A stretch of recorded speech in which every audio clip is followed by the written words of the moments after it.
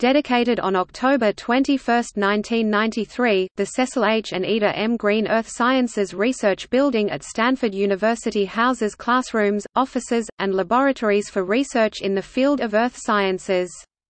The building's extended basement contains the sunken Kresge Plaza, in which rock sculptures are designed to look like a miniature version of local geologic faults.